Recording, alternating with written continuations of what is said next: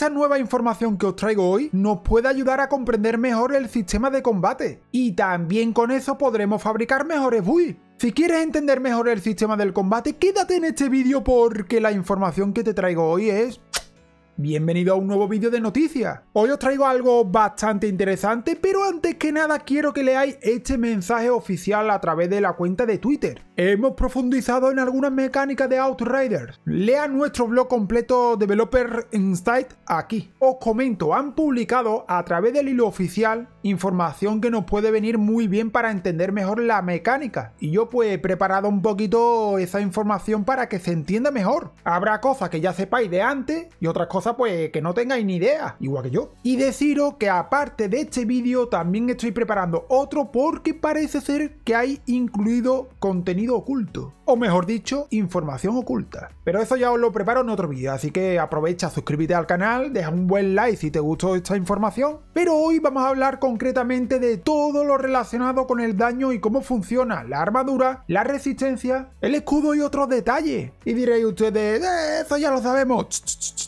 Ojo, porque siempre hay algo que aprender. Y dicho esto, vamos a comenzar. Y vamos a comenzar por la introducción. Bienvenido a una nueva entrada en nuestro blog Outrider Developer Insights, estas publicaciones se centran específicamente en un aspecto específico de Outrider y están destinadas a hacer un recurso de referencia para los jugadores, con preguntas sobre el tema respectivo. Es decir, es como una especie de pequeño manual. Como se mencionó hace un momento, queríamos brindar a la comunidad una visión más clara de algunas de las mecánicas del juego que incluyen en el daño recibido del personaje, por lo que se va a detallar un poco más en qué consiste esos daños que esta publicación incluye un vistazo a las mecánicas centrales que interactúa con el daño entrante, es decir, el que recibimos, pero también se dirige a los sistemas que están intencionalmente ocultos y que funcionan en segundo plano. Y vamos a comenzar por la parte de la resistencia, esas preguntitas que nos pueden ayudar a entenderlo mejor. ¿De qué protege resistencia? La resistencia es una mecánica que sirve para proteger al personaje del daño de anomalía entrante. En la práctica esto significa todos los ataques no físicos de los enemigos, todas las habilidades enemigas que no sean cuerpo a cuerpo y los ataques elementales se cuentan como anomalía. ¿De qué no protege la resistencia? El daño físico ignora por completo la resistencia. Por lo tanto, todos los ataques físicos pasarán por alto esta estadística. Por lo que por mucha resistencia que nosotros pongamos, el daño físico va a entrar. ¿Cómo escala la resistencia? Es decir, ¿cómo se varía? La resistencia reduce el daño de anomalía entrante en el porcentaje dado. Por lo que el 30% de resistencia es un 30% de reducción de daño contra esas habilidades, por ejemplo. O los ataques no físicos. Por ejemplo, la madre que utiliza una habilidad de anomalía, la de erupción, la habilidad típica del circulito que te tiene que salir. Un golpe en expedición de nivel 15 inflige 35.941 de daño de anomalía. Si yo tengo, por ejemplo, un 50% de resistencia, pues me causará la mitad. Y ahora, un detalle que me pareció bastante curioso a la hora de crear un build, indica ¿Tiene resistencia a algún límite por encima del cual no tendría ningún efecto adicional? Es decir, ¿hasta qué límite podríamos llegar con el porcentaje en la resistencia? Y por lo visto tiene un límite. La resistencia tiene un límite del 85% de daño entrante. Y ahora me vendrá el típico que me dirá en los comentarios, no, Ataru, yo eso lo sabía desde el primer día, antes de que saliese el juego. Venga ya, hombre. Este dato me parece muy curioso porque muchas veces vemos build que tienen mucha resistencia y en el momento que supere el 85%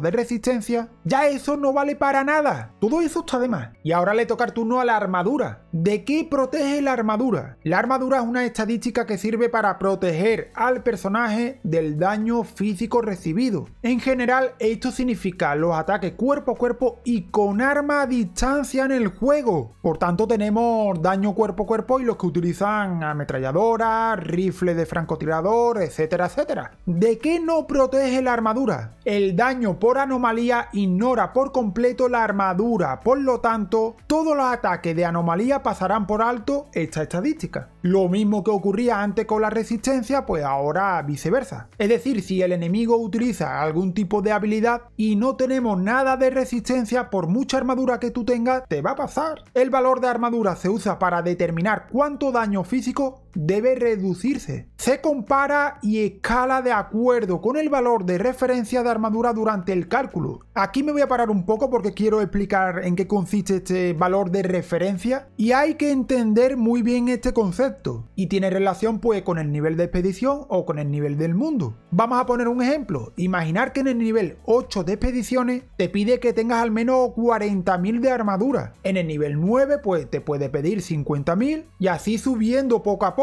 es decir, te pide un mínimo, no lo especifican por ningún lado pero hay un mínimo, sería como un mínimo recomendado. Vamos a leer este ejemplo y lo vamos a entender mucho mejor. En nivel 15 de expedición, una madre inflige alrededor de 50.000 de daño con un ataque de cuerpo a cuerpo. Si la armadura del jugador está a la par con el valor de referencia, es decir, con el mínimo que se pediría para ese nivel, tendríamos aproximadamente un 30% de reducción del daño. Vale, esto puede ser un poco liante y lo voy a volver a explicar. Si por ejemplo en el nivel 15 se recomienda mínimo 50.000 de armadura y tú llegas a ese mínimo de 50.000, digamos que a ti se te va a reducir un 30% del daño recibido por el enemigo, como en este ejemplo. Si yo tuviese menos armadura de ese valor de referencia, el porcentaje no sería un 30%, a lo mejor sería un 20% de reducción, es decir, que te afectaría mucho más el daño. Si la armadura del jugador es menor, la reducción del daño será menor. Viceversa, para mayor armadura y reducción de daño. Cuanto más armadura,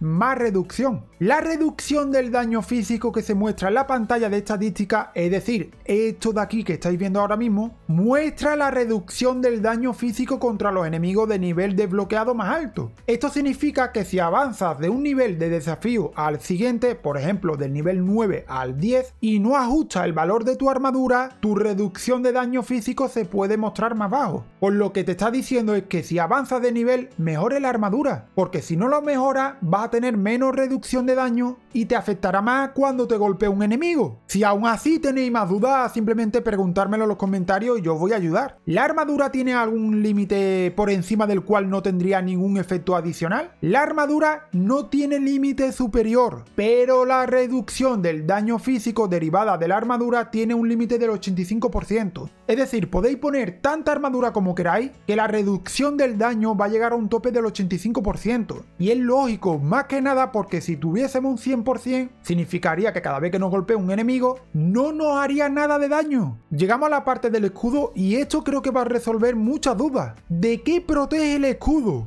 Ambos tipos de daño están bloqueados por el escudo, es decir, tanto el daño de anomalía como el daño físico. Si el daño que te va a producir un enemigo se basa en una anomalía, el daño que reciba el escudo se basará en el cálculo de estadística de resistencia, explicado anteriormente. Si el daño es físico, usará el valor de armadura. A ver, a ver, a ver. Aquí, importante, quiero que entendáis, el escudo se adapta dependiendo del tipo de daño. Si yo, por ejemplo, tengo un escudo con el Trickster y me produce un daño de anomalía al enemigo, ese escudo tomará la estadística de esa resistencia. Sin embargo, si el enemigo me golpea y me hace un daño físico, el escudo va a obtener la estadística de la armadura. ¿Cómo actúa el escudo? La mejor manera de describir cómo funciona un escudo sería tratarlo como una barra de salud adicional, que absorbe todo el daño primero hasta que se agota. Y solo entonces el daño se reduce de los puntos de vida reales. Pero ya sabemos que el escudo se adapta dependiendo del tipo de daño y obteniendo la estadística de, bueno, de la resistencia o de tu armadura, ya depende del tipo. Muy interesante la verdad. Los escudos deben comportarse exactamente como la barra de vida, excepto que se deterioran con el tiempo. También se deteriora más rápido cuando está fuera de combate. La cantidad máxima de escudo es igual a tu cantidad máxima de vida. Aumentar tu vida también ayudará a aumentar la cantidad